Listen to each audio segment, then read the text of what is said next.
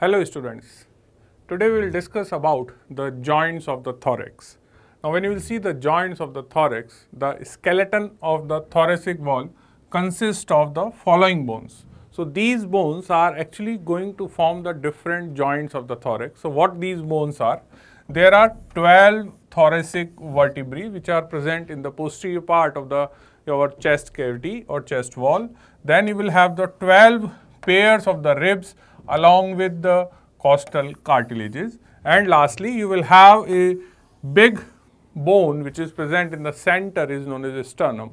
So, when you will see the joints of the thorax, you, you are basically talking about the joints formed by the vertebrae which are present posteriorly. On the side, you have the rib cage and anteriorly is the sternum.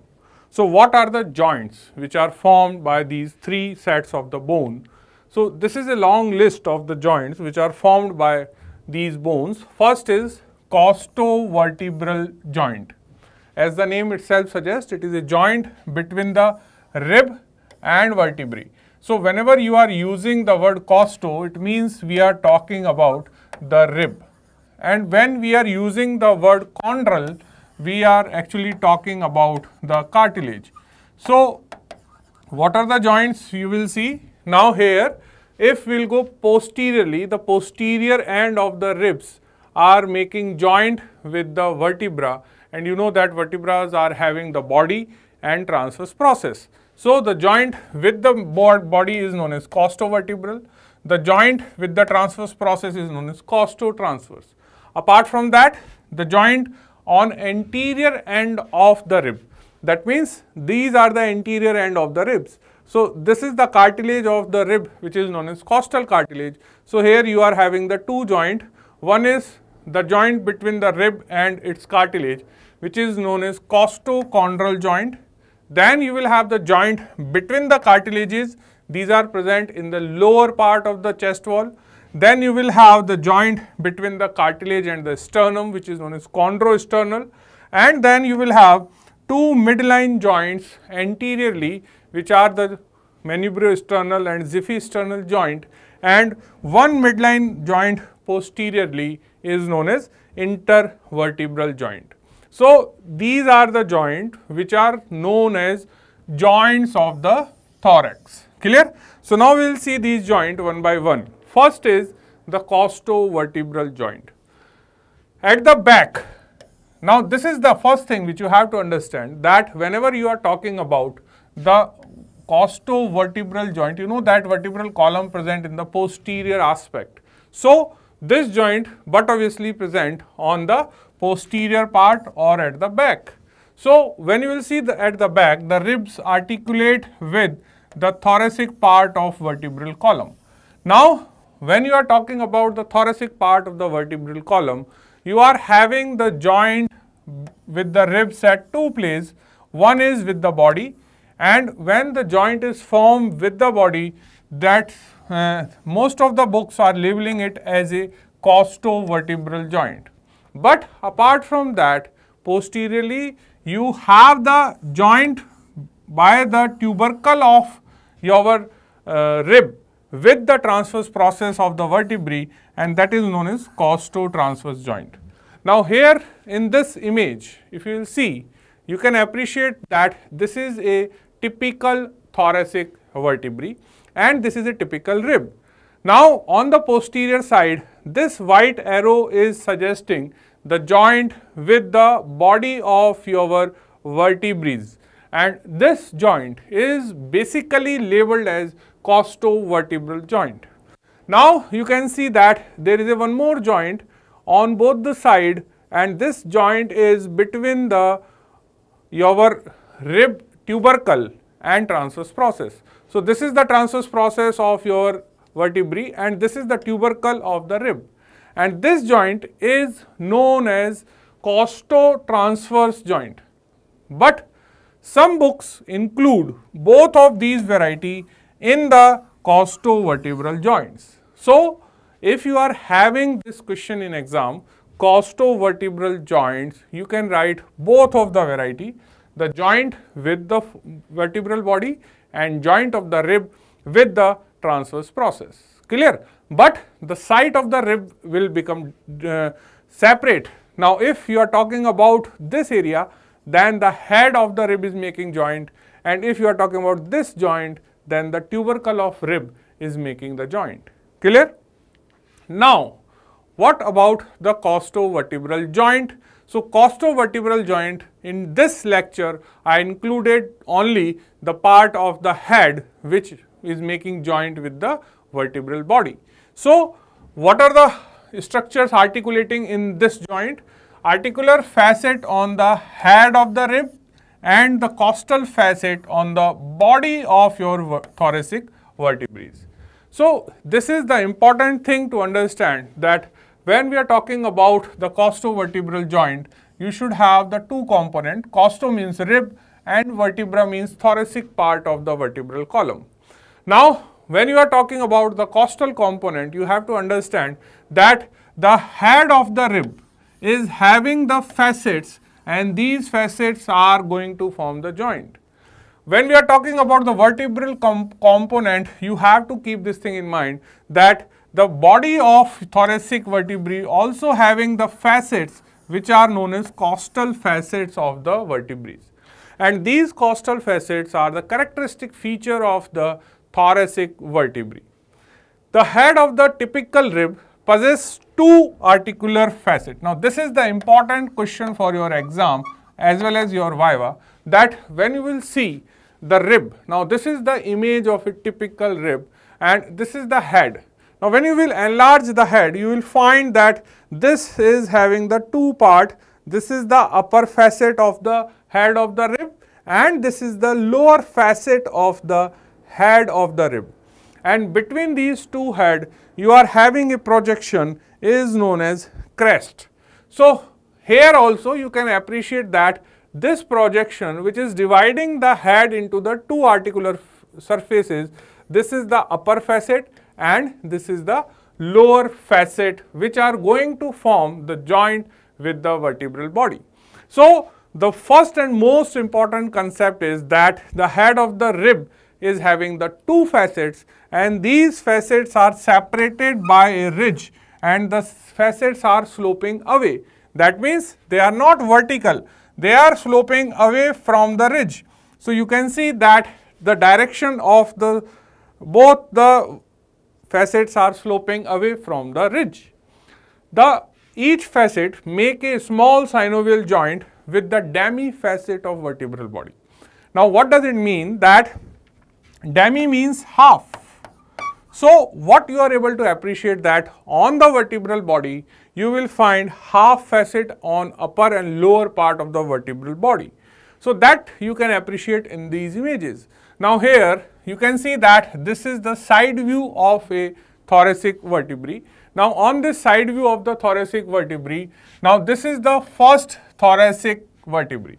Now, on the first thoracic vertebrae, you are able to see a complete facet because you will realize that the first rib, the first rib is purely, purely articulate with the first thoracic vertebrae. It is not having articulation with the your upper rib, upper vertebrae and means C7. That means its its rib, this rib is having a single articular head. The head of first rib is not divided by any ridge. What is the question? That you will see the first thoracic vertebrae. On the side of first thoracic vertebrae rather than demi-facet you are having a one complete facet in upper part. That means the corresponding rib uh, which is going to make a joint here is the first rib. And the first rib is making joint with a single vertebrae. And this surface of the first rib is not having any kind of the division which are the feature of a typical ribs. So, here you can see that there are two part of this area upper part and lower part which are divided but when you will see the first rib you do not have such division. Now on the lower border of first thoracic vertebrae you are having the demi-facet. Now if you will see the other typical thoracic vertebrae you will find that the body of that thoracic vertebrae is having demi-facet on upper part as well as on lower part. So my dear friends, you have to keep this thing in mind that whenever you are talking about the costovertebral joint or the joint between the head of the rib and the vertebrae, you have to keep in mind that the typical rib is having two facet and these facets are going to make a joint with the demi facets which are present on the adjacent vertebrae.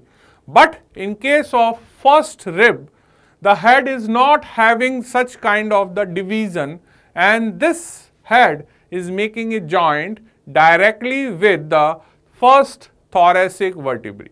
That means first thoracic vertebrae is not having any articulation with C7 vertebrae.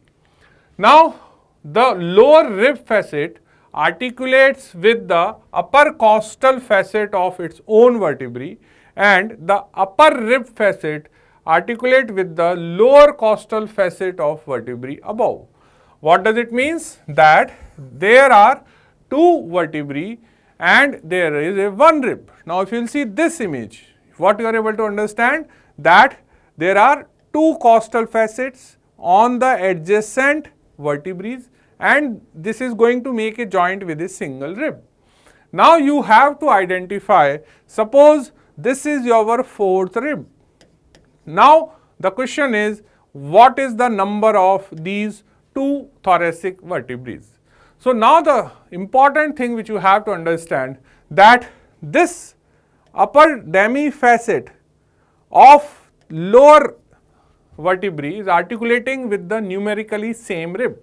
So if this is a fourth rib, then it has to be the fourth thoracic vertebrae and this facet is articulating with the third thoracic vertebrae. Clear? And the most easiest way to understand this counting is not with the help of the vertebral body. You should keep this in easier way with the help of transverse process. Now, the important concept is that the transverse process facet always articulate with the same number rib. What does it mean?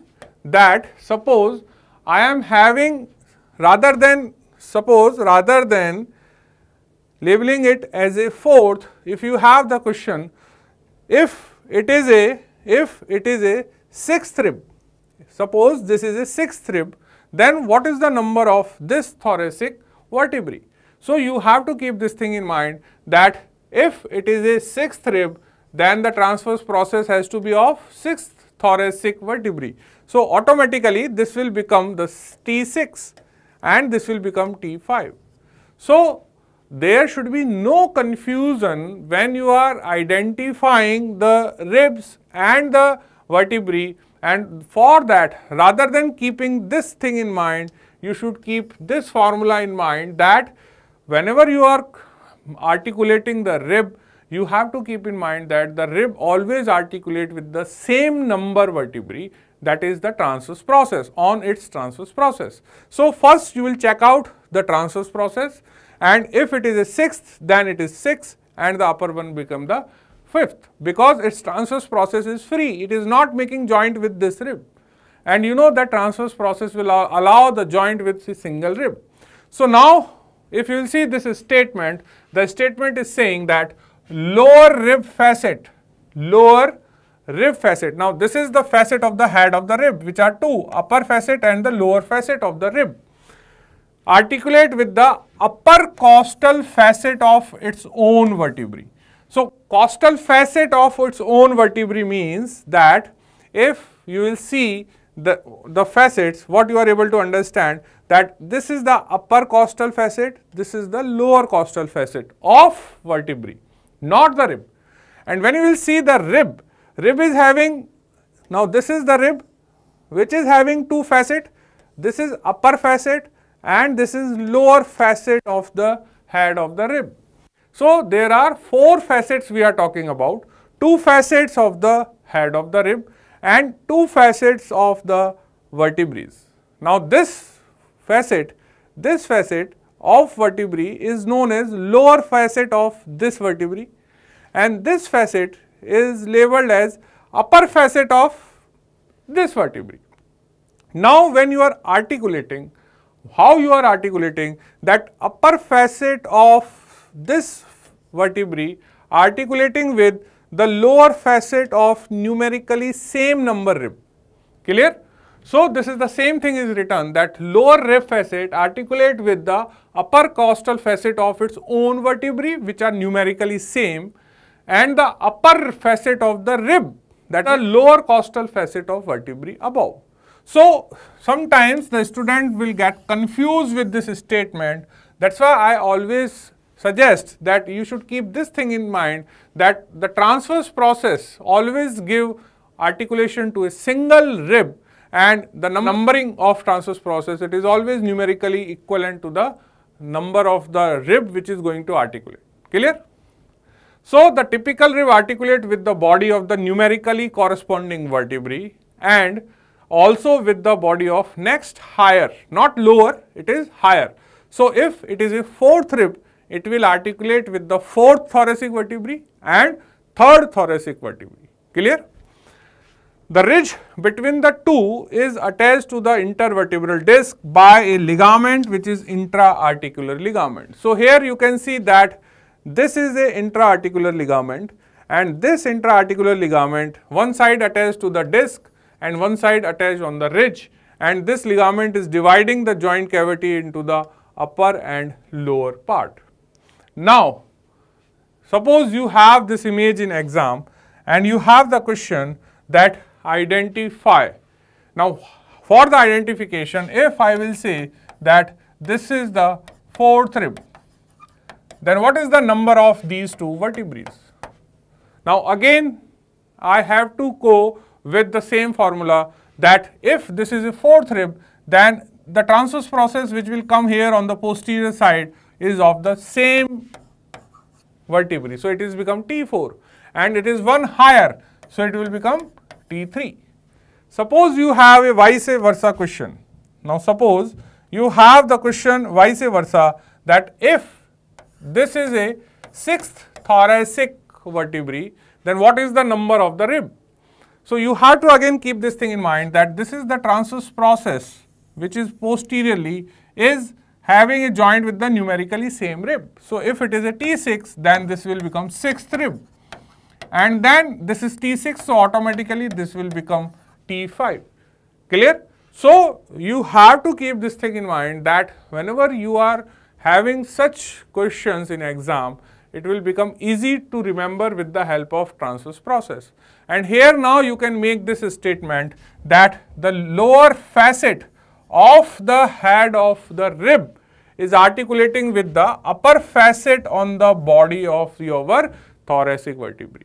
While the upper facet of the rib articulate with the lower facet of the next higher one thoracic vertebrae. Clear?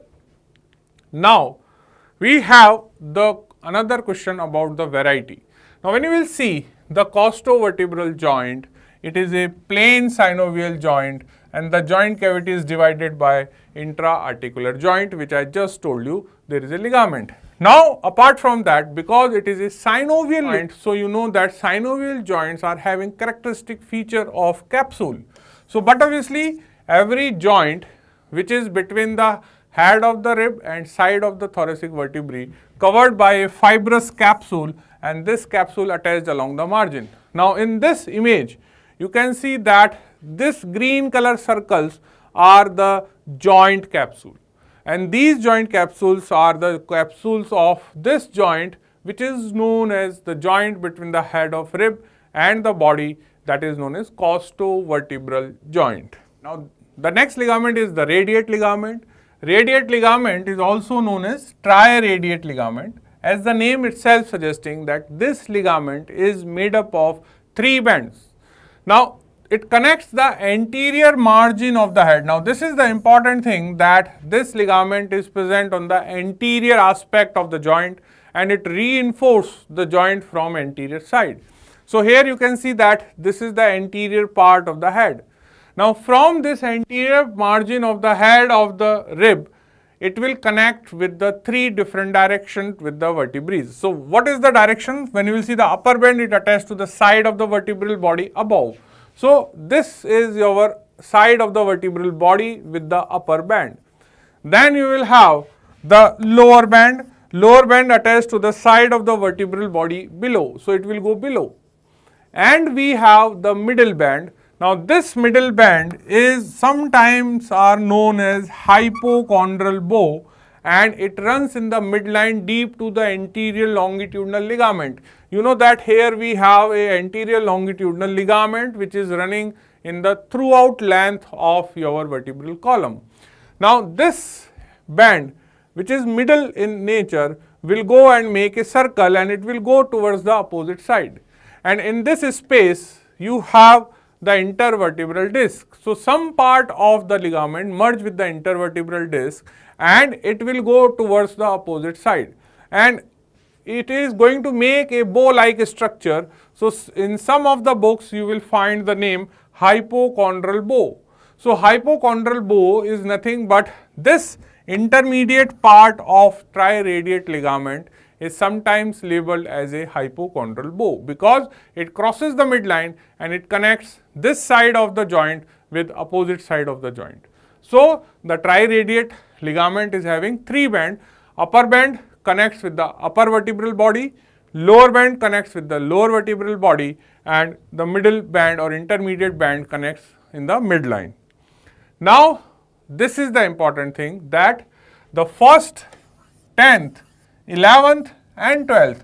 These ribs articulate only with the numerically corresponding vertebrae there and they are having a single joint cavity. So, initially I told you that when you will see the head of a typical rib, you will find the division by a ridge.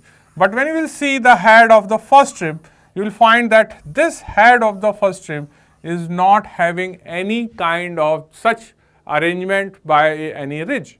So, if you will see this diagram, what you are able to appreciate that this is your 11th rib, this is your 12th rib and they are articulating with single vertebrae. Now, here in this diagram, this is your 10th rib. Sometimes the some part of the 10th rib will go on the T9. Otherwise, the 10th rib is making a joint, the 10th rib is making a joint with T10 vertebrae, 11 is making a joint with the T11 and the 12 rib is making a joint with the T12. So, now when you are reading the thoracic vertebrae, you will realize that the thoracic vertebrae are also not compulsorily having the demi facets. They are having complete circular facets and these circular facets are for the vertebrae uh, ribs like 11th, 12th and in upper part if you are having the ribs here you can see this is horizontally placed rib this is the first and this is the second. Now again when you will see this first thoracic vertebrae on the side of first thoracic vertebrae you will find one and half facet. Now why one and half facet? Because one facet, one complete circular facet for the first rib and this half lower facet for the second rib. So, there is a only single vertebrae which is having one and half. Why one and half? One is for the first rib and half is for the second rib. Otherwise, generally you are having the demi facets on the side of vertebral bodies. Clear? So, this is the important thing to understand that it is not having the division in their head these are also not having the division at their head which is typically present on a your typical rib. Now, the next is the costotransverse joint. Now, as the name, suggests, it is a joint between the rib and the transverse process. Now, which part of the rib? Answer is tubercle of the rib. Now, when you will see the rib on the posterior side, you will have a projection is known as tubercle. Now, this tubercle is making a joint with the facet on the anterior aspect of transverse process and that joint is known as costotransverse joint. Now, what is the uh, uh, type of uh, this joint? So, these joints are again plain variety of synovial joint and there is no costotransverse joint on 11th and 12th rib. Now, this is again the question for your exam that which of the following thoracic vertebrae does not have the facet on their, their transverse process? Answer is 11th and 12th.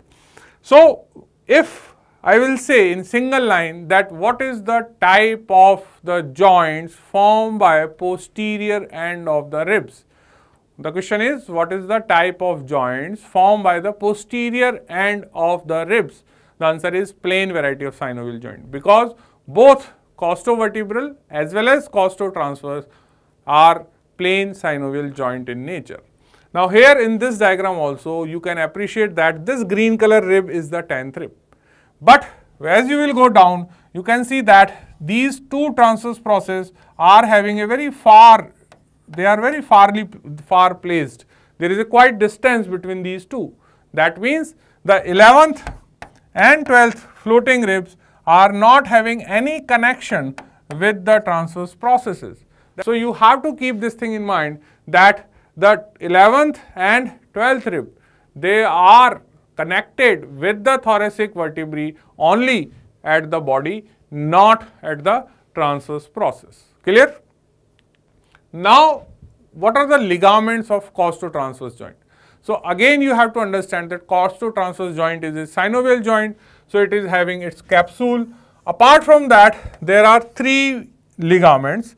One is known as superior costotransverse, inferior costotransverse and lateral costotransverse.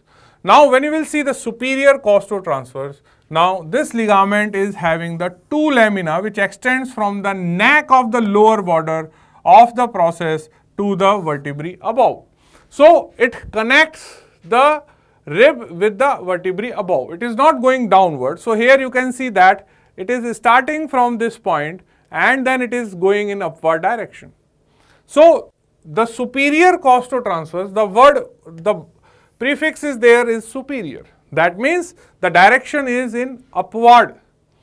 So, it is not having the relation post lower down. This superior costotransverse which is placed on the upper part of the joint is a connection with the upper border of the neck and it is made up of two bands or you can say two lamina. Clear? Then you have the inferior costotransverse it extends from the rough posterior surface of the neck of the rib to the anterior surface of the transverse process of numerically corresponding vertebrae. And then you will have lateral costotransverse which extend from the non-articular part of the tubercle of the tip of transverse process of corresponding vertebrae. So, what are the three costotransverse ligament? One is the superior costotransverse ligament now here you can see this is the lateral costotransverse ligament and this lateral costotransverse ligament is a connection between the tip of the transverse process with the non-articular part of your tubercle, but it is a numerically same rib. And you have the inferior costotransverse ligament which extend from the lower part of its border and it will go downward. So, you have three things in mind here. What are the three things? That costotransverse joint are not uniform. That means every rib is not having the costotransverse joint. What are the exception? 11th and 12th. What is the second thing? Costotransverse joint is a plain synovial joint which are supported by three costotransverse ligament, superior, middle or inferior and lateral. The third thing which is very commonly asked question that the tubercle of the rib is divided into the two part articular and non-articular. Now when you will see the tubercle of the rib, it is divided into the two part articular and non-articular.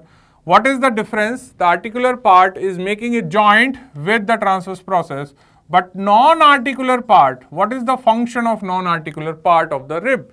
Tubercle. So, answer is that this non-articular part uh, give attachment to the lateral costotransverse ligament.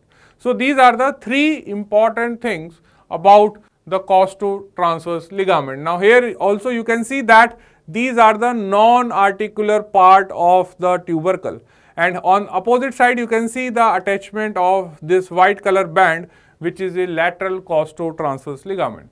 So, this is what about the costotransverse ligament. Now, this is the question which I am talking about. The tubercle of a typical rib has two facets. The tubercle is also divided into the two part. One is articular which is you can see and this rough area adjacent to it is known as non-articular. So, the medial facet covered by the hyaline cartilage that is why it is white you can see here and articulate with the tip of articulate with the tip of the transverse process of its own vertebrae while the lateral facet is non-articular and it provide attachment to the lateral costotransverse ligament. Now, what are the joints on anterior aspect? Now, when you will approach anteriorly, you have the joint is known as costochondral. What is the meaning of costochondral? The costo means rib, chondral means cartilage. Now, this joint is between the costal cartilage and the rib and these are primary cartilaginous joints. So, this is again the question of your exam. Now, where is the costochondral joint? Now, this is the anterior view. These are the anterior end of your ribs and you can see that this area is your costal cartilage. So, where is the junction? The junction is here. So, this line is known as costochondral joint. Now, this costochondral joint is a primary cartilaginous joint. Then you will have interchondral joint. Now, interchondral means the joint between the adjacent costal cartilage which are nearer to each other and such joints are start from the sixth costal cartilage. So, you will have, if you count this, this is the first, second, third, fourth, fifth, sixth. So, this is our sixth costal cartilage. Now, below that you have 7, below that you will have 8, then 9 and 10. So, the joint is formed and the 11 and 12 is not here because they are floating ribs. So, the joint will form between the 6 and 7, between the 7 and 8, 8 and 9 and 9 and 10. So, the joint are there between the costal cartilages of 6 and 7, 7 and 8, 8 and 9 and 9 and 10. Now, the question is that these joints are plain synovial joint. Though they are the joint between the cartilages, but still they are plain synovial. Now, this is very commonly asked question because students think that the joints between the cartilage should be of cartilaginous variety but it is uh, it is not cartilaginous. They are plain variety. They are synovial variety. The exception is the last joint. The last joint between the ninth and 10th costal cartilage is fibrous in nature. So the joint between 6 and 7 7 and 8 and 8 and 9 are synovial in variety while the joint between 9 and 10 is fibrous in nature. Then you have the sternochondral. Now, sternochondral means that this is your sternum and this is your costal cartilage. So, the joints are known as sternochondral joints. So, how many sternochondral joints you are able to see? 1, if you will see the counting, this is 1, 2, 3, 4, 5, 6, 7. So, there are 7 sternochondral joint. But the question comes about the type. Now here you have to understand that first sternochondral joint that means the joint between the costal cartilage of first rib and this lateral aspect of manubrium is a primary cartilaginous joint. It is a primary cartilaginous joint. Then what about the remaining joints? So from second to 7 there are joints which are plain variety of synovial joint. They are plain variety of synovial joint. And you know that primary cartilaginous joints are known as synchondrosis. They are known as synchondrosis. So now, if I am having a question, write down the joints formed by first rib. Write down the joints which are formed by the first rib. So this is the first rib. So how will you write in exam? This is the first joint on the posterior side and what is the name of this joint? Costovertebral joint that is between the head of the first rib and the side of the first thoracic vertebrae. and this joint is a plain synovial joint which is not divided and the head is articulating with the single vertebrae. What is this joint? This is known as costotransverse joint between the tubercle of the first rib and the transverse process of first thoracic vertebrae. Then what is this joint? Now this joint is the first costochondral joint and the first costochondral joint is primary cartilaginous. What is this joint? This is first chondrosternal joint and this is again primary cartilaginous joint. So, in nutshell, you will find that first rib is having both plane synovial posteriorly and both first uh, anteriorly primary cartilaginous joints. But when we are talking about other ribs, in other ribs, the posterior joints are plane synovial, but in anterior part, these joints are the primary cartilaginous, but this junction, the junction between the your cartilage and the sternum is plain variety of synovial joint. So, this is the question which you have to understand. So, so many times you have this question that what is the difference between the junction or the joint of first costal cartilage and your uh, sternum with other costal cartilages. So, this joint of first costal cartilage is primary while other are synovial. So, this is a primary cartilaginous joint and these are synovial. Now, the second question is that the synovial cavity of second costal cartilage and sternum is divided. Why? Because the two part are there, one is with the manubrium and one is with the body. So, this joint cavity is having the division, remaining joint cavities are single cavities. Remaining joint cavities are single cavities. So, this is the important thing that the second to seventh sternochondral joints are plain variety of synovial joint with single cavity except the second one which is divided. Why? Because it is articulating at two bones. Now, what are the joints of sternum? Now, when you will see the joints of sternum, you have manubriosternal joint and you have xiphisternal joint. You know that the junction, junction between the manubrium and the sternum is known as manubriosternal and this is known as the joint between the sternum and xiphoid. Now, this joint is a secondary cartilaginous joint, but this joint is a primary cartilaginous joint. So, this is the important question in your exam that what is the difference between the variety of the joint. So, manubriosternal is a secondary cartilaginous joint which is also known as symphysis while the xiphisternal joint is a synchondrosis or you can say primary cartilaginous joint. That means the xiphisternal joint is having tendency to convert in the bone and that process is known as synostosis and it convert into the bone generally by the age of 40 years. Now, you have posteriorly joints in the thoracic cavity and these are the joints between the adjacent vertebrae. And these joints are at three places. Each vertebrae is making a joint in upper part and lower part. So, in upper part it is making 3 joint, in lower part it is making 3 joint. So, what are the 3 joint?